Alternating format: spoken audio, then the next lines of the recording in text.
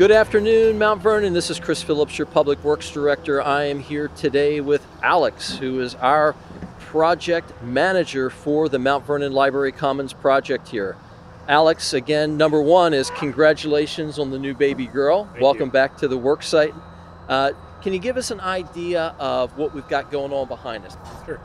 So we are in the process of wrapping up our subgrade foundations, and then we are working on some of the vertical elements now. Um, you can see the shear wall being formed behind me.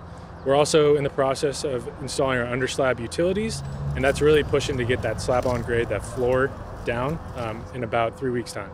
The way we're approaching the building is sort of a west to east. Um, so the west elevator pit right now is receiving its final layer of waterproofing. Um, it's up to the slab on grade level, the floor level, and the east elevator pit is actually down. It's about five feet below slab is when you start your um, your pit, and so we're putting the waterproofing on that. That'll actually pour this afternoon. Right, right on. Awesome. And the number of uh, concrete trucks that we had over the, the foundation pouring, uh, could you give an idea of like cubic tons and how many trucks uh, have been here? Yeah, so we split our mat foundation into two sections. Uh, we poured the last section last Monday, and we had over 70 trucks on site throughout the day just to pour half of our mat foundation. It was 1,400 cubic yards between the two different pours. Wow, that's a lot of concrete. It is. How about for the uh, for the column? Those columns range in height. Um, I would say it's probably on average about five trucks uh, per column, and we're running multiple columns a day. So you're going to see concrete trucks uh, in and out the job site all day long.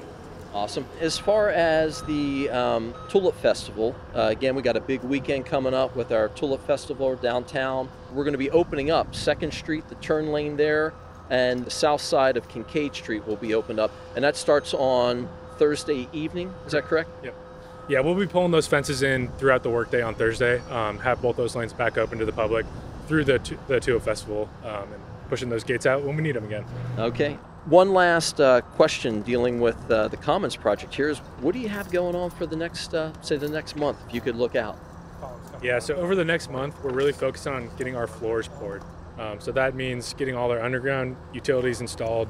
We have a few layers of insulation below the slab. Um, it's part of that passive house envelope. And then the actual slab prep and pouring is a pretty involved process as well. Um, those slabs have to be nice and flat, nice and level. Key part of this project is to have a really good slab on grade pour. So that's where we are focusing our efforts right now.